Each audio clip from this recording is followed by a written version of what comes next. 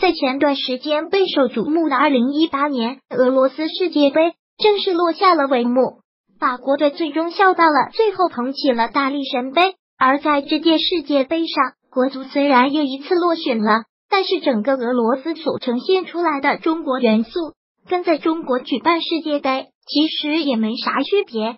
正如央视名嘴白岩松所说：“俄罗斯世界杯，中国除了足球队没去，基本上其他都去了。虽然国足没去，但是关于国足的新闻这一点都没少。在世界杯期间，国足成为很多球迷吐槽的对象。”就连在海峡那头的台湾媒体也没事拿国足身材进行调侃，国足球员也自此拥有了“白斩鸡”的外号。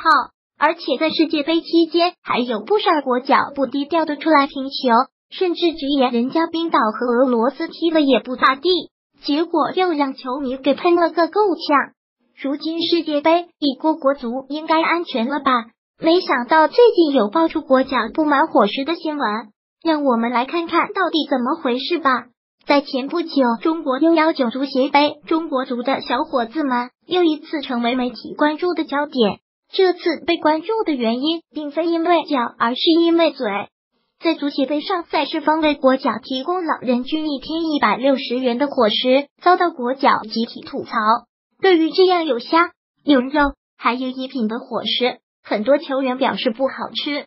而且很多球员都抱怨一天的伙食怎么才幺六零，应该吃的更好一些。对于国足球员抱怨伙食不好，这并不是第一次了。此前就有国脚抱怨伙食差，而且两年自己有钱有全力吃的更好一些。对于这种说法，我只能说没毛病。但是相比于女足的伙食对比之后，我只能用心酸来形容。如果论身价，你们可以吃得更好，但是论成绩，你们真的不配。这也难怪在网上会有那么多对国足不利的言论了。